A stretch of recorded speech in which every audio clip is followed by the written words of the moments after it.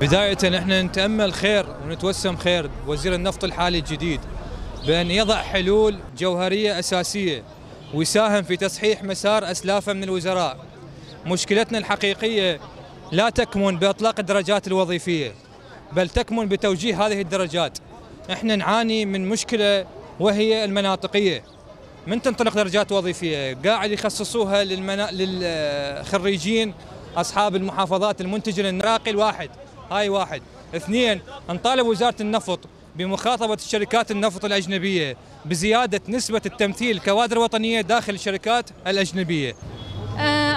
محافظة النجف خريجة هندسة نفط جيت هنا لأن ماكو أي فرصة تعيين. هاي 15 مظاهرة إحنا جيناها هنا وماكو أي فرصة تعيين. زين إحنا اختصاصنا محدود. هندسة نفط لا نقدر نروح المدرسة ولا نقدر نروح لأي مكان. رحنا المدرسة على مود راتب 200 ألف. قالوا لنا شنو هنا؟ أكو نفط حتى تستخرجوا. زين إحنا وين نروح؟ والناس أصلا تستهزئ بشهادتنا. أصلا والله قمت أستحي أقول أنا هندسة نفط ليش؟ لأن وين اكو تعيين؟ زين؟ المعاهد يتعينون وإحنا ما نتعين. إحنا معدلاتنا 96 وفوق. والله من نار قلب ومن ضيم قلب أنا جيت لهاي المظاهرة. هاي 15 مظاهرة وأنا من النجف. ما قدرت أجي أنا جيت أنا وأبويا. وهاي مئات الناس هماتين هيك نفس الحالة. كنا هندسه نفط وما متعينين. إيقاف التعيين المركزي. زين إحنا شنو؟ ليش هسه إذا ماكو مجال ليش يطلعونا هيك يعني ليش يخرجون ناس هماتين هندسه نفط نسبة العمالة الأجنبية فوق ال 95% بكل شركة. بس بالبصرة هي نسبة العمالة الأجنبية فوق ال 80% بكربلاء نفس الحالة مصفى كربلاء مصفى الدورة مصفى بيجي كل هذا. زين رواتبهم فوق ال 70 ألف دولار. وإحنا على مود ألف دولار ما يعطونا ما يصير هيك. إحنا شنو يعني؟ مو هندسة نفط مو خريجين مو تعبنا؟ والله شفنا الويل. بالدراسة مالتنا كنا معدلاتنا 96 وفوق هاي كلها 96 وفوق. وماكو أي تعيين ما لنا ليش هيك ما أدري. شنو هالظلم؟ ما أدري. كل مظاهرة نطلعها ياخذون من عندنا اثنين ثلاثة يصعدوهم ونفس الحالة يطمطمون السالفة وماكو أي شيء لاكو وعود لاكو شيء هل يفتحون نسبة التعيين؟ ماكو. إحنا أعدادنا ما تتجاوز ال 1300 ما تتجاوز. 1300 مهندس. وأعدادنا كلش قليلة. هاي الصحة فوق ال 20 ألف. التربية فوق ال 40 ألف درجة وظيفية. الكهرباء 36 ألف درجة وظيفية. بس إحنا وزارة النفط بس على مود 1300 إحنا نقطة بحر أصلا ما نصير. إي والله ما يصير هيك يعني إحنا كنا هاي شوفوها الناس شوفوها هاي كلها. إيقاف التعيين المركزي. شنو مهندس نفط يشتغل عامل بنا شنو مهندس نفط؟ مهندس نفط يبيع لبلبة. شنو هاي؟ وين بيا مكان صايرة. بأي مكان ما صايرة. أنا يعني الخريج أحمد نور الدين منصور مهندس نفط من محافظة كركوك. خريج من سنة 2013 يعني صار لي ست سنوات أو خمس خمس سنوات وشوية متخرج. صار لنا تقريبا فوق السنة وحتى بال 2015 وبال 2014 طلعنا مظاهرات. وبوقتها استجابوا يعني لمطالبنا عينوا لنا قسم من الدرجات الوظيفية كنا قلة الخريجين. أنا بوقتها هم امتحنت وقابلت ما طلع اسمي شنو السبب؟ ما أعرف. راجعت هواي آني وقله من المهندسين الخريجين. زين. هسه إحنا عددنا جاي يزيد. خريجين هندسة النفط. عبرنا ال 1200 واحد. بوقتها كنا بال 500 بال 400 هسه عبرنا ال 1200 واحد. إذا هسه ما يلقوا لنا حل يمتى يلقوا لنا حل؟ من نصير 2003 و5000 وأكثر؟ ما شاء الله أكثر المحافظات النفطية هسه عندها قسم هندسة نفط. يا أخي لقوا لهم حل. لقوا لهم حل. وإحنا بلد نفطي. لو ألغوا قسم هندسة النفط. وإحنا هم معدلات عالية جبنا وتعبنا وتخرجنا. يعني معقول هسه؟ وش سالفة هم؟ يعني بالتعيين تدرون أكو حاجز عمري صح لو لا؟ يقول لك من عمر كذا لعمر كذا. يلا تنق... يعني يعبره بعد تفقد فرصة التعيين. زين أنا 30 سنة. شلون؟ يعني أنا ورا سنة أو سنتين هاي هي. أغسل ايدي من التعيين هنا. أغسل ايدي من العراق أهاجر.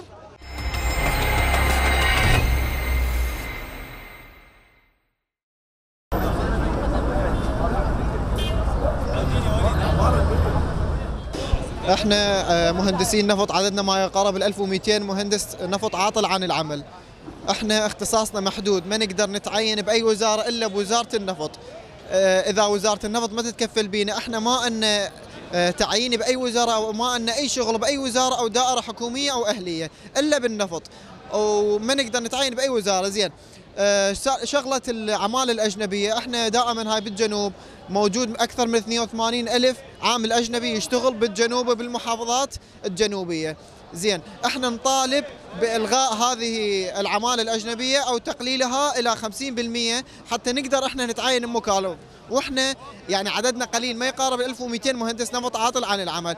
يعني مو وزارة سيادية مثل وزارة النفط يعني مو هواية عليها 1200 مهندس. وإحنا أبناء هذا البلد أولى من العمالة الأجنبية اللي يشتغلون عندنا ويأخذون من خيرات هذا البلد. يعني والله حرام يوميا نطلع نتظاهر وشيء وما ما يسوون أي صورة حل بس إحنا هذا الوزير الجديد آه، دا يوعدنا خير إن شاء الله متأملين به خير دكتور ثامر الغضبان ومتأملين بخير وقال على أساس إنه راح يسوي لنا استمارة إلكترونية وراح تنزل وإن شاء الله خير. بسم الله الرحمن الرحيم إحنا طلاب هندسة نفط يعني صار من 2015 لهسه ماكو أي تعيينات تعيينات واقفة وإذا نجي نطالب بحقوقنا يعني إحنا طلاب وتعبنا 16 سنة دراسة وتالي متالي قاعدين بالبيت ماكو اي تعيينات. ومو بس دفعتنا صار ثلاث دفعات من سنة 2015 لهسه وإحنا ما نريد شيء بس نقابل الوزير. يعني صار أكثر من مظاهرة نطلع. أي مقابلة أي يعني ما يخلونا حتى نوصل للوزير. يعني نريد بس نقابله حتى نشرح له مشكلتنا. نقول له إحنا ما رايدين شيء بس حقنا هذا طالب بالتعيين مالتنا. بالبداية نحب نهني الجيش العراقي بالذكرى 98 لتأسيسه الجيش العراقي الباسل. و... ومثل ما عرفتوا والكل عرف إحنا مهندسين نفط قضيتنا صارت معروفة للكل. آه، بعد ما طرقنا كل الأبواب وجربنا كل السبل والطرق من زيارات للنواب وأصحاب القرار ولحد الآن ما حد يلقى حل لهاي مشكلتنا. والمشكلة دا تزيد سنة بعد سنة وإحنا صار لنا سنين نطلع مظاهرات واحتجاجات وماكو اي أي فائدة. والمهندس النفط العراقي الشاب قاعد بالبيت عطال بطال لا شغل ولا عمل. بالوقت اللي حكومتنا بدها تستعين بالمهندسين والأجانب ومن كافة الأصناف يعني حتى حتى الخدمية دا يستعينون بالأجانب. وعندنا هاي الأوراق هاي من مكتب التصاريح الأمنية فرع الجنوبية. بس فرع الجنوب عندنا 105 دولة تشتغل بس بالجنوب من مختلف الجنسيات 105 دولة. يعني على سبيل المثال عندك الوطن العربي كله يشتغل بالعراق. عندك مصر 9751 عامل ومهندس يشتغلون. وإحنا المهندسين العراقيين تقريبا 1200 إلى 1300 ومدى يقدرون يوفرون لنا يعني إذا سرحوا جزء من هاي العمالة الأجنبية وحطوا بمكانها عمالة عراقية راح راح ماكو مهندس يبقى عاطل عن العمل. وإحنا بعد تسلم السيد ثامر الغضبان لوزارة النفط استبشرنا خير ولأن هو أستاذنا بهذا المجال ومهندس مثلنا وإن شاء الله يفتح لنا أبوابه يفتح لنا أبوابه مقابلته شخصيا حتى نطرح مشكلتنا عليه لأن هو صار معلوم عنده مشكلتنا. والله الأسباب يعني دا يستعينون بالخبرات الأجنبية على أساس إنه خبرة فأنت أوكي استعين بالخبرة الاجنبيه خليه يشتغل سنة سنتين وفوت ويا المهندس العراقي. ياخذ خبرة منه بعدين سرح الأجنبي وخلي العراقي يكمل لك. إحنا المهندس العراقي حتى أجوره أقل. يعني الأجانب أجورهم خيالية يعني توصل ل ألف دولار. يعني أكو رواتب توصل ل 70 ألف دولار. هاي 70 ألف دولار كم مهندس نفط تقدر تشغل بيها أنت؟ يعني مئات تشغل بيها. فما أعرف حكومتنا ليش تتجه للأجنبي ودا تهمل المهندس العراقي.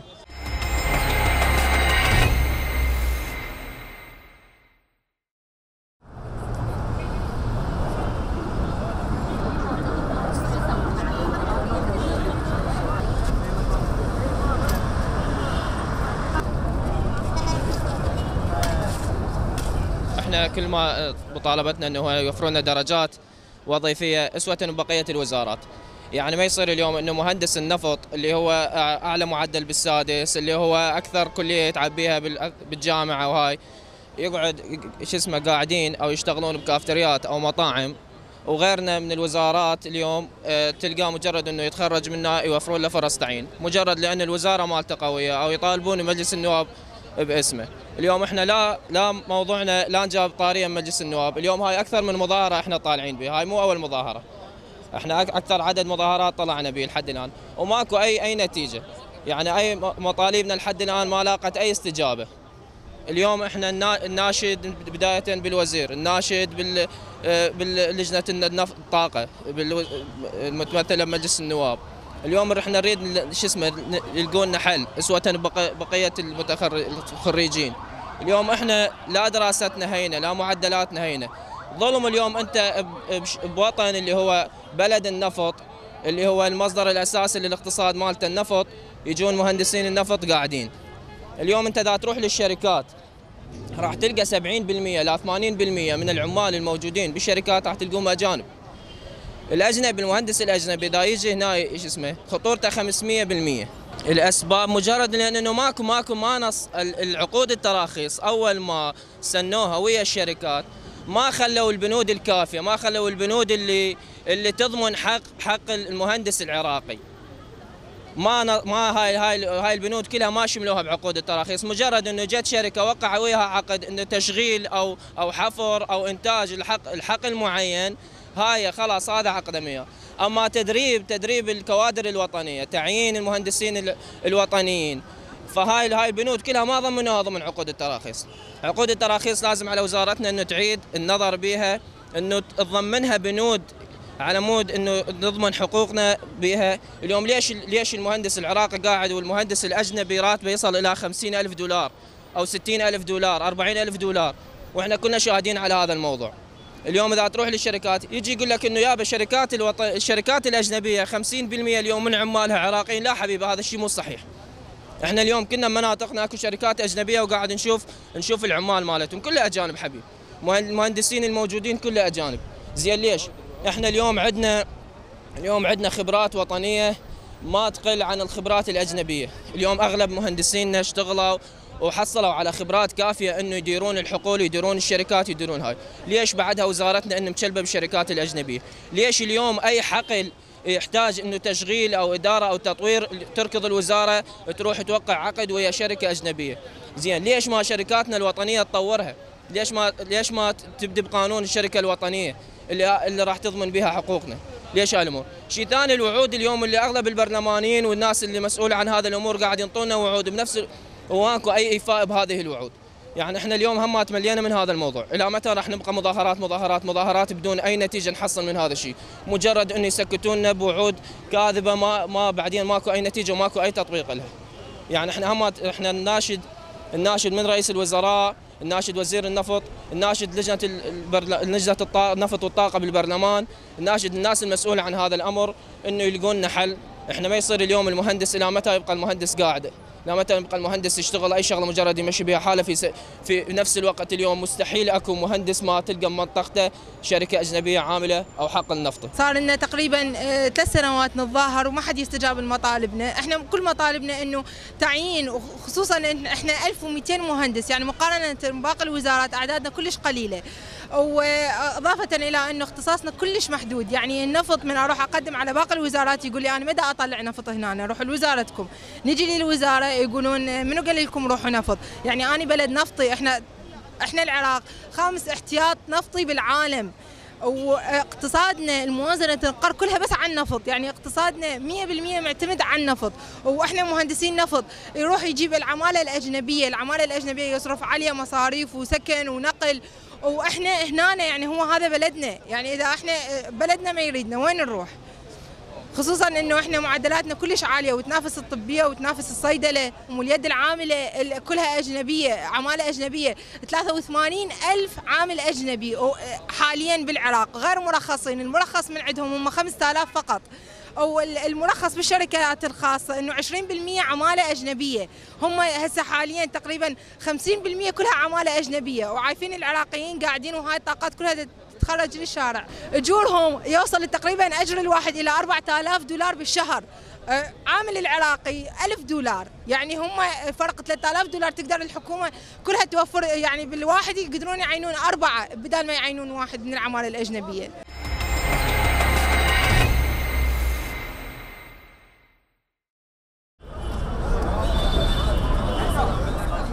هاي صار يعني إحنا تقريبا هاي 15 تظاهر إحنا نطلع نداعب حقوقنا اللي هي التعيين.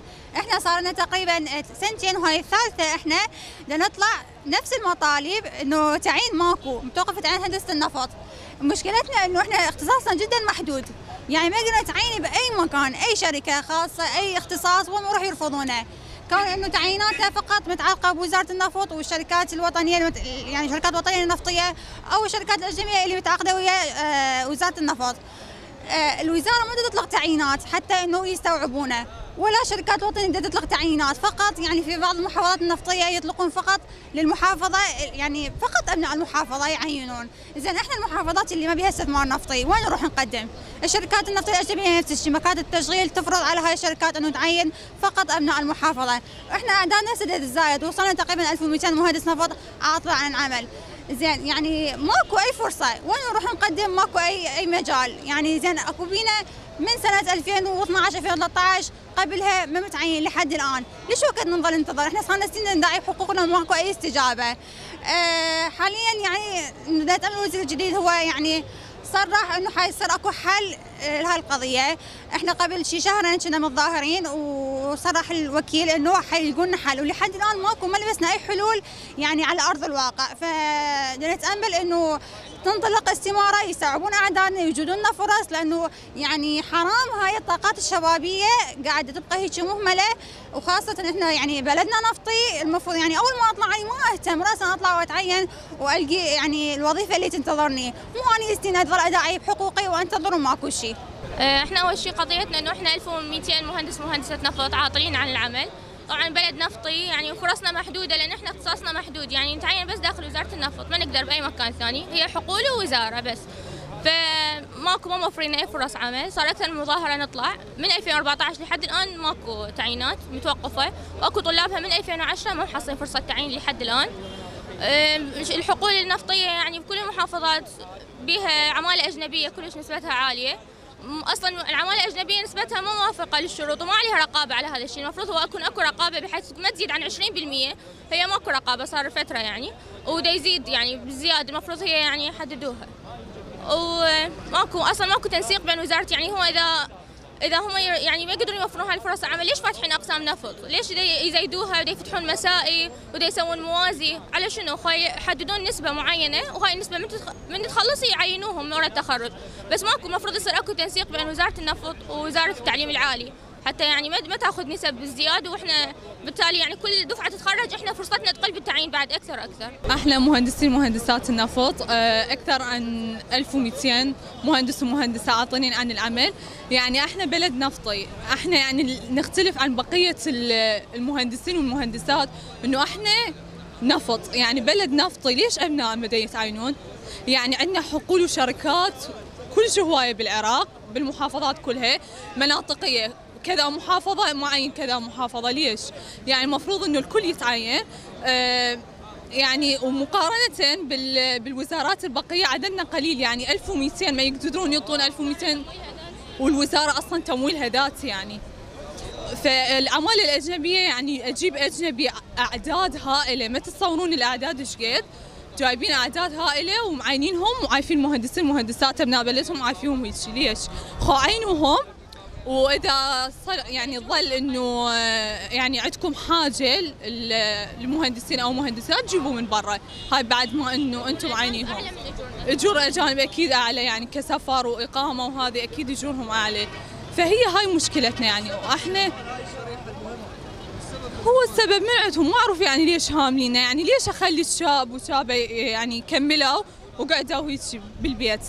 يعني كل أحلامنا كل مخططاتنا كل تعبنا تعب 16 سنة كله يضيع. ليش؟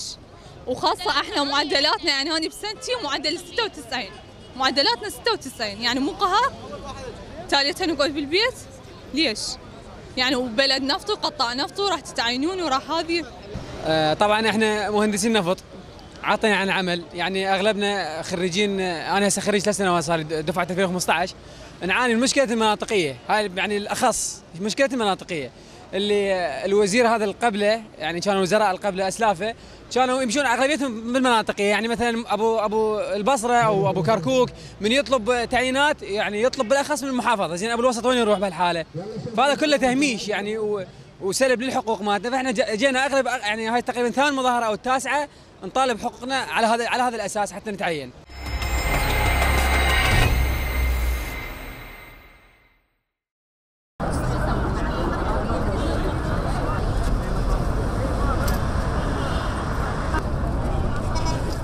هاي تظاهرات خريجي هندسة النفط اللي كل مرة إحنا نرتب مظاهرة ويوعدونا بشيء وإن شاء الله المناطقية راح تلغي. وثاني شيء من تجي تعيينات خصوصا لأهل المناطقيه، إحنا من ناحية المناطقيه كأهل البصرة أو ناصرية أو ميسان اللي ذن الح- الحقول المنتجة للنفط أكثر الحقول المنتجة بالنفط، إحنا ما عندنا آه، هم حقهم ومن حقهم يتعينون، بس لما إنه هاي المحافظات ي- يخصون هندسه النفط؟ يعني ماكو مهندس نفط ما متعين بيهم. فالنوب شو يسوون؟ ما يجون للمناطق الوسطى مثل كربلاء بغداد الديوانية السماوه ما يجونهن يعينون غير غير اختصاص مثل كات مثل خريجي آداب. إحنا مو نن- ننقص من هاي من ننقص من قيمة هاي الشهادات بس هي مو اختصاصهم. فاحنا لازم الرجل المناسب في المكان المناسب إحنا نرجو من آه وزير النفط ثامر الغضبان أن ينظر لنا بعين العطف والأبوة لتحقيق مطالبنا آه، بهاي التعيينات. آه، وإن شاء الله إحنا يعني املنا كبير بهذا الوزير. طبعا إحنا اليوم آه، طالعين مظاهره آه، مجموعة من مهندسين النفط من كافة محافظات العراق آه، نطالب بحقنا طبعا إحنا آه، هاي الشريحة مهندسين النفط شريحة حقيقة انظلمت باختصاصها الحساس. آه، إذا أنا أنا ابويه وعطف أبوي بين يحل هاي المشكلة اللي آه، سنه سنه سنة عن سنة جاي تزداد هاي المشكلة وأعدادنا تزداد وحقيقة يعني ما ما له حل إذا مو وزير النفط هو هو الحل الوحيد إنه. مطالبنا كلها تتلخص إنه إحنا دا نريد حقنا دا نريد نطالب بحقنا اللي هو التعيين ببلدنا بلد النفط. إحنا مو مثل باقي الوزارات عددنا كلش يعني مثلا الكهرباء تحتاج تنزل درجات وظيفية 36 ألف درجة وظيفية إحنا كل الدرجه 1200 درجة وظيفية.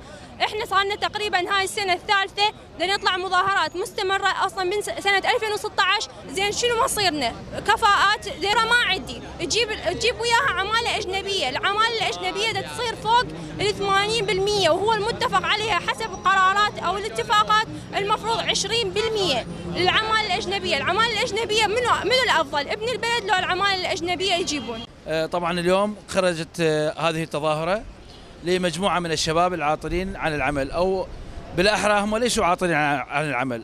آه، هؤلاء شباب خريجين. لديهم شهادة آه، شهادة جامعية أولية وأغلبهم اختصاصهم آه، آه، مهندسي آه، نفط. آه، هؤلاء لا يعتبرون من العاطلين عن العمل وإنما شباب واعين مثقفين بإمكان آه، شركات النفط أو آه، مؤسسات الدولة اللي تعنى آه، بالنفط أن يتم تعيينهم وإعطائهم آه، رواتب ومرتبات على قدر الشهادات اللي يحملوها.